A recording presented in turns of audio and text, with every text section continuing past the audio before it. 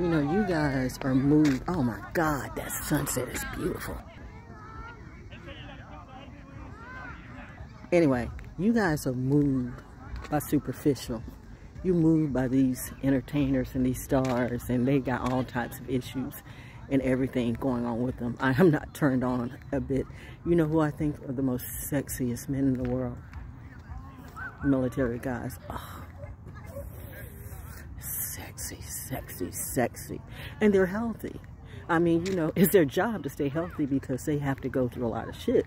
So, you know, health is a, a, prerequisite for them, especially when, you know, you got your own government trying to make you sick.